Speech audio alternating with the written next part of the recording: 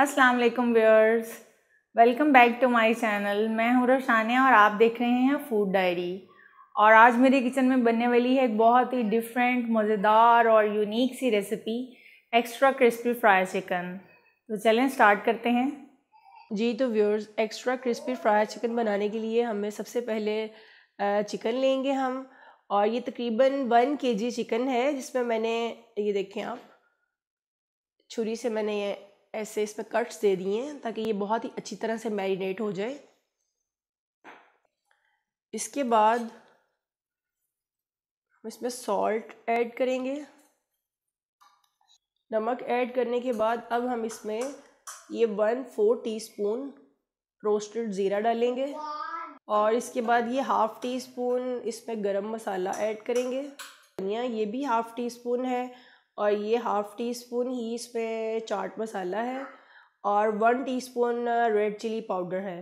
तो ये हम सारे के सारे ड्राई स्पाइसेस जो है वो इस पर ऐड कर लेंगे और इसके बाद अब हम इसमें डालेंगे जिंजर गार्लिक पेस्ट ये two tablespoon ginger garlic paste है। उसमें one and half teaspoon हमने यूज़ किया है ग्रीन चिली पेस्ट अगर आप ग्रीन चिली पेस्ट इसमें नहीं यूज़ करना चाहते तो ये ऑप्शनल है। आप इसमें ग्रीन चिली पाउडर भी यूज़ कर सकते हैं।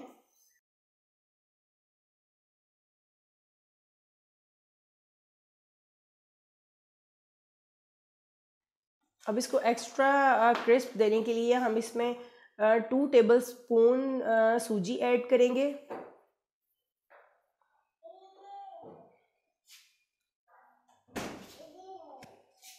सूजी डालने से ये बहुत ही ज़्यादा इसका टेस्ट अच्छा आएगा और ये बहुत ही क्रिस्पी बनेगा। इसके बाद इसमें ये थ्री टेबल स्पून ऐड करेंगे हम कॉर्नफ्लोर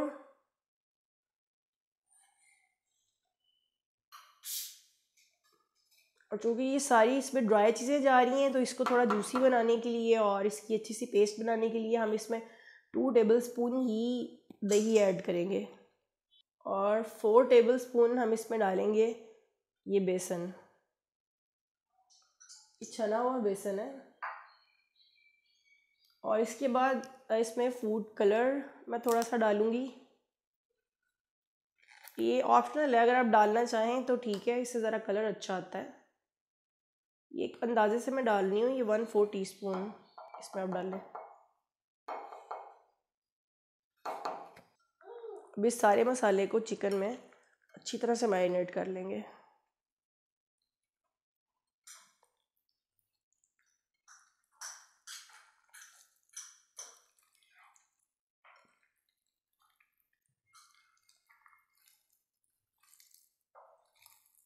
इसके कट्स के अंदर भी इसको अच्छी तरह से मैरिनेट कर लें। अब ये अच्छी तरह से मैरिनेट हो चुका है। अब इसको तकरीबन दो घंटे के लिए फ्रिज में रख दें और उसके बाद फिर हम इसको फ्राई करेंगे। अच्छा देखिए, अब चिकन को मैरिनेट किए हुए तकरीबन दो घंटे हो चुके हैं। अब हम इसको फ्राई करेंगे और फ्राई करने के लिए हम एक पैन में ऑयल लेंगे और इसको तकरीबन दस मिनट इसको प्री हीट करेंगे, जो कि मैंने ऑलरेडी इसको प्री हीट कर लिया है लो मीडियम फ्लेम पर। तो इसको अब हम फ्राई करेंगे और फ्राई करने के लिए सबसे पहले हम इसमें चिकन के बड़े पीसेस डालेंगे, जैसे लेग पीस और थाई पीस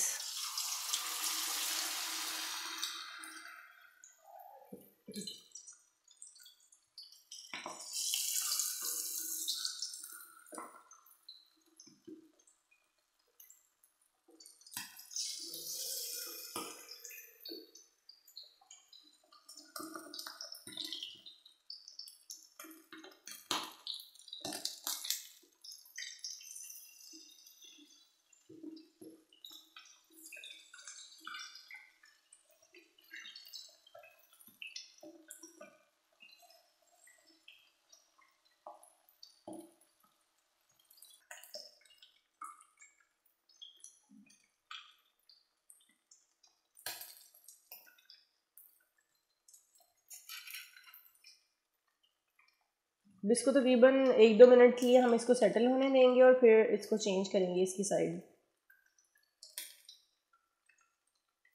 इसको हम तीन से चार मिनट अप्रॉक्सीमेटली इसको एक साइड से कुक करेंगे।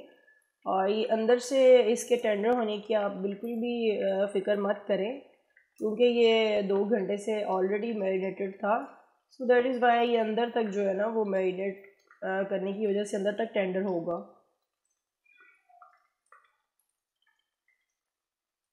इसको हम मीडियम फ्लेम पर फ्राई कर रहे हैं। इसकी साइड चेंज करेंगे।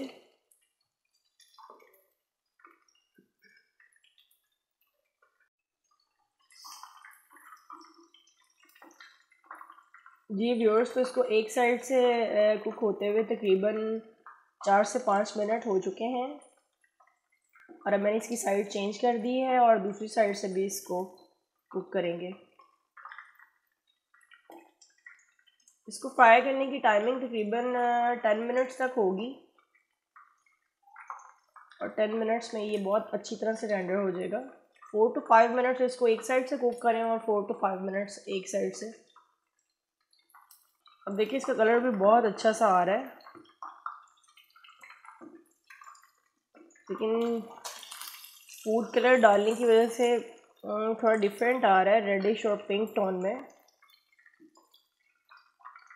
और आपको फ़ूड कलर पसंद नहीं है तो आप इसमें मत ऐड करें और लेट सपोज़ अगर आप करना भी चाहते हैं तो जस्ट वन पेंच डाल दें। मैंने थोड़ा ज़्यादा डाला है इसके अंदर।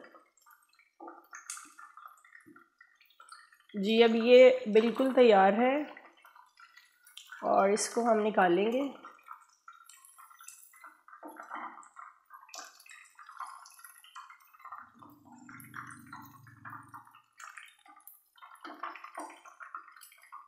मज़े का एक्स्ट्रा क्रिस्पी फ्राई चिकन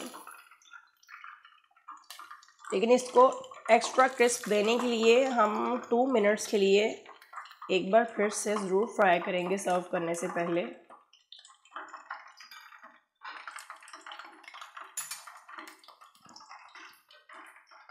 जी, दो मिनट्स हो चुके हैं और ये दोबारा से जो है वो हाई फ्लेम पे अच्छा खासा गर्म हो चुका है। ये फिर से रेडी है फ्राई करने के लिए।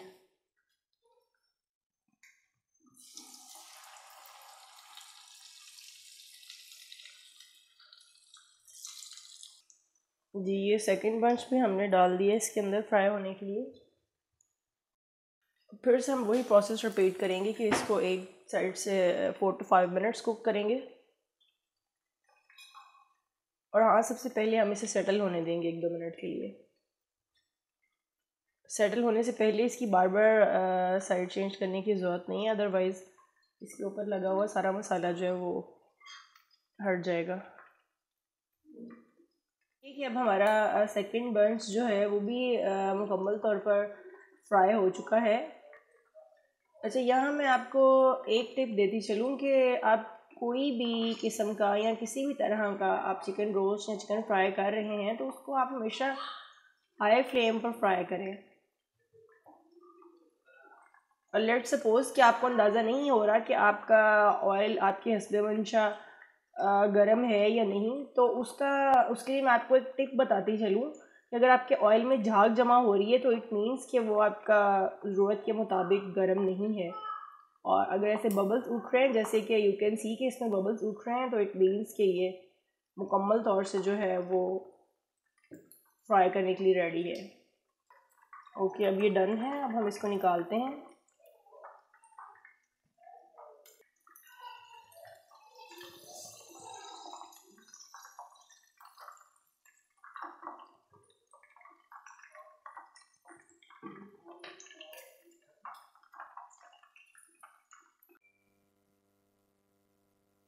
जी व्यूअर्स अब हमारा चिकन फ्राई हो चुका है, लेकिन इसको एक्स्ट्रा क्रिस्प करने के लिए हम इसको एक बार फिर से फ्राई करेंगे। उसके लिए आप ये देखिए कि इसको ऐसे थोड़ा हाथों से तोड़ लें।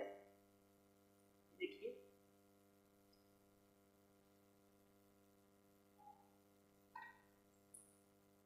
देखिए ऐसे। अब हम इसको एक बार फिर से फ्राई करेंगे टू मिनट्स के लिए।